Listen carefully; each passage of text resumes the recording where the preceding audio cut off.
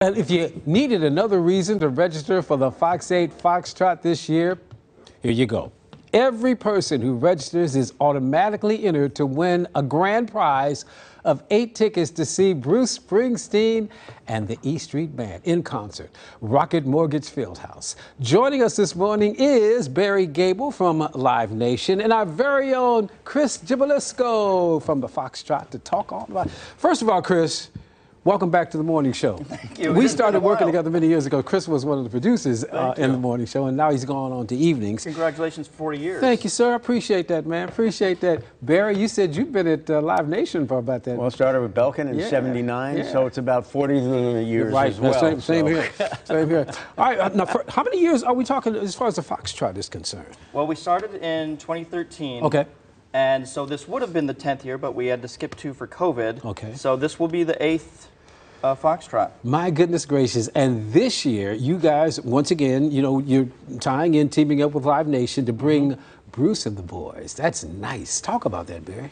This is a great opportunity. Everybody that uh, joins the Foxtrot and uh, participates or even just goes to the fox8.com website to sign up um, can win eight tickets. Mm-hmm. Of course, we got that from our friends at Fox 8. Yeah. And Springsteen is amazing. He always likes to tie in with the food bank. Okay. All over the country in different Is that why you did the food bank this year because of Bruce?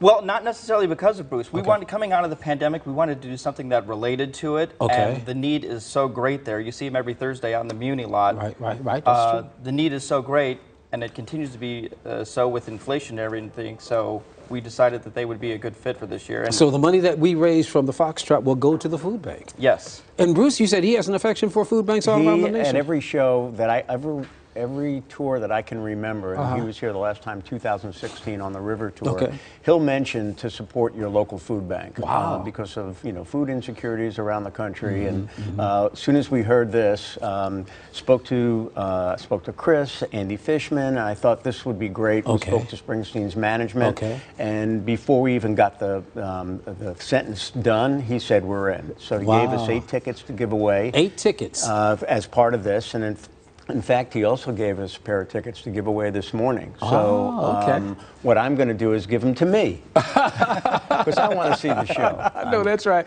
I'm let just kidding. He's Now, talk, talk about you. You've been connected to the Foxtrot for many years. Well, we- we Why is that important to you? You know, it's a great organization of what Fox 8 does for every different charity that is involved. A number of years ago, when I got the call from Chris about it, we actually got Brad Paisley involved. Mhm, I And- remember that, yeah. And Brad gave us a guitar, tickets, season tickets for the following year. So, you know, this is a really good community Mm-hmm, opportunity. Um, People not only have a great time Yeah. healthy-wise, come out, Yeah. they can walk, they Yeah. can run, Yeah. they can come out and cheer, they can donate online Yeah. by just donating and supporting a local runner.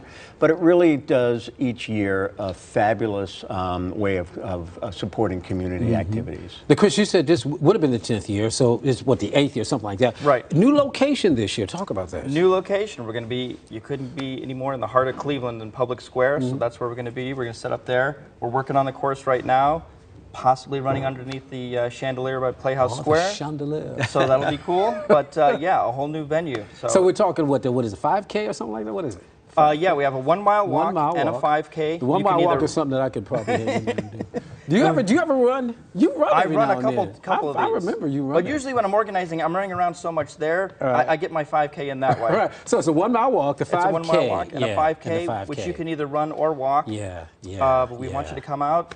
Of course, if you register, anyone Yeah. who registers gets You get the entry. Yeah, Uh, you get the shirt. yeah. Uh, there's a pullover you can get if you do the premium, and then there's those tickets to Bruce. And once again, what's the date? Once again, for those who may not have been Sunday, August 28th. the 28th. that morning. okay, starts at what time? Get there what time? Uh, the walk, the registration starts at seven. If you want to do it that morning, the walk is at eight, and then the runs after that.